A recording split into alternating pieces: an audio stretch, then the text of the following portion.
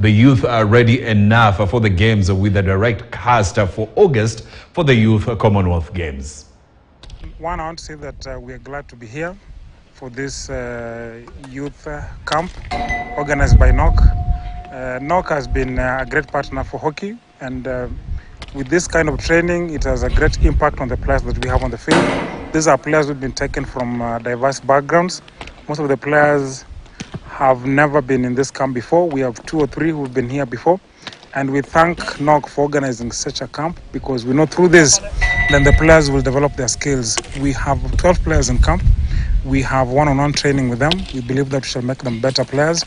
Already, they have most of them have the basics in the game.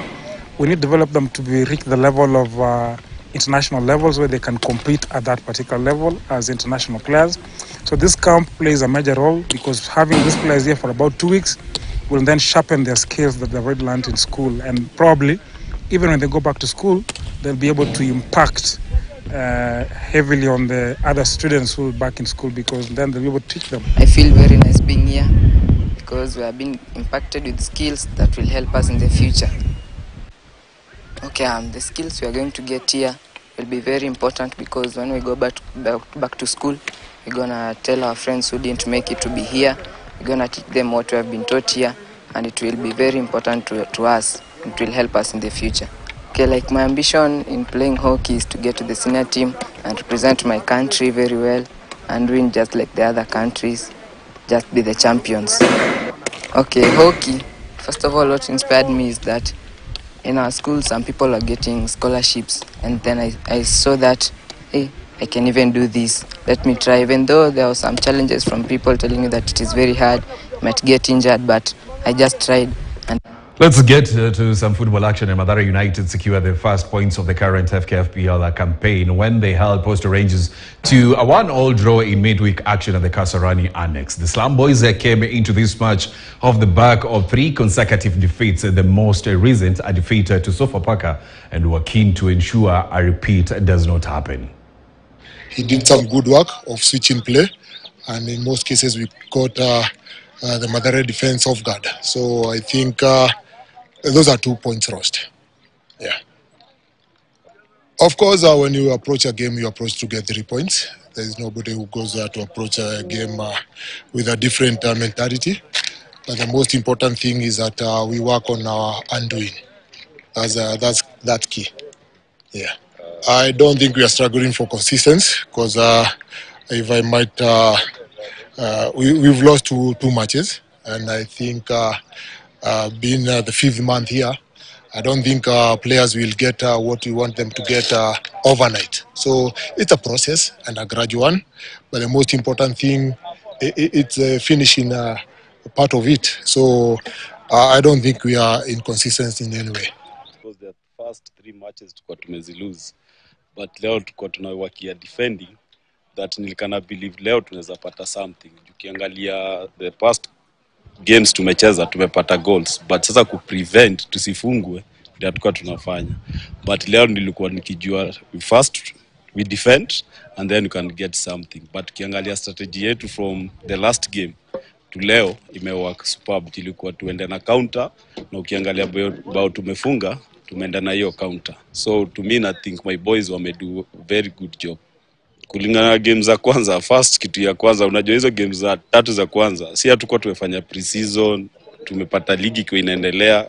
Already tulikuwa tunacheza first game na timu inacheza game number 4 so kulikuwa na hiyo match fit From uh, the Football Kenya Federation Premier League, let's move to FKF, NSL, and Shabana moved to the top uh, of the National Super League after an emphatic 5 0 win over visiting Mwatate United in a midweek clash at Gusii Stadium. Shabana leapfrogged Kibera or Black Stars rather to the summit of the league.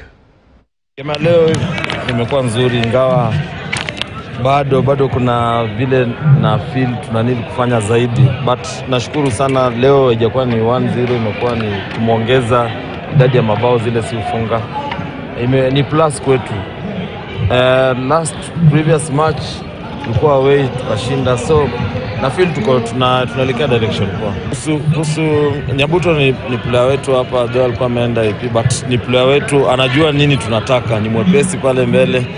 Last match pia alitufungia, kwa hivyo ni, ni, ni striker mwenye eh, mkizubaa kidogo ana, ana, anafunga, lakini sasa tulimrudisha kwa sababu tunajua uwezo ile ako nayo, so nampongeza sana pia nao tamuhimiza azidi kufunga zaidi, kwa sababu last season pia nao alikuwa na mabao mengi, enda aliongoza kwa timu yetu. Number kwa table, ama kitu muhimu kwangu ni tu, vile tunacheza na tuna concede na tunafunga. Nadhani hiyo ndio kitu muhimu, kwa sababu sasa bado ni mapema sana hata tebo hata mi sina haja kuangalia, lakini naangalia timu yangu, tuna vile tunacheza kila siku, kuna mabadiliko, kuna hope, kuna uzuri ule unaonekana. Hiyo nadhani ndio Now, members of county football associations are crying foul, saying they were left out when FIFA and CAF delegation visited the country. The members say they wanted to give their views to FIFA as stakeholders of football in the country. County Football Association categorically state that the FKF National Executive Committee is an illegal entity, having been disbanded by dint of Gazette Notice 12374 of 12th November 2021, and further upheld in the constitutional petition number E473 of 2021. Therefore, any deliberation and resolution emanating from a meeting with an illegal entity is null and void. We reject total, in total, any resolution arrived thereon for lack of legitimacy and wider participation of key stakeholders in the Kenyan football ecosystem. FIFA hao ambao walikuja walikuwa wamekuja ili kuweza ku, kusuluhisha mgogoro ambao ulikuwa nchini. Mgogoro huu ambao ulikuwa umesababisha Football Kenya Federation iweze ikakuwa suspended na nchi ya Kenya iweze kuwa suspended na FIFA, lakini tume lakini tumeghadhabishwa sababu FIFA walipokuja hawakuchukua maoni ya washikadau wote, hawakuchukua maoni ya washikadau ambao wanaendesha mpira katika jamhuri hii. Walichukua tu maoni ya federation, maoni ya NEC members ambao tunajua hawako kwa ofisi vihalali. Kenya now has uh, 25 more coaches at a CAF B level. The coaches who had to wait uh, for one year to complete the course after it was disrupted by Kenya's FIFA suspension finally sat for the exams and completed the their training. a big opportunity for me because I, they called me last one in the class because I'm the youngest. Na nashukuru sana federation kwa this opportunity because nimeanza hii courses nikiwa high school, CAF D, CAF C 2019, now CAF B and I'm 25 years old. Imagine for the next for the next 10 years how nitakuwa level gani. Na hiyo imekuwa possible na federation transparency yao na pia kusupport wale makocha wa grassroots kwa kudedicate na kuenda classes na tunataka waendelee hivyo, na pia ningeaja wale ma young coaches wako huko nje waache kufuata mambo negativity. Hizi classes ni transparency, those those coaches who they are passionate wanataka kwenda class, hakuna ubaguzi. That's why I said back then that this um, sports that I've learned here is going to be of a, a lot of benefits, and I think I'll ask um, the schools to really think about you know training someone really sports, just sports, not just a, a teacher who is will will go to maybe do Let's uh, now move uh, to the Carabao Cup and Manch- uh, Southampton stand Manchester City to book a place in the semi-finals of uh, the English League Cup.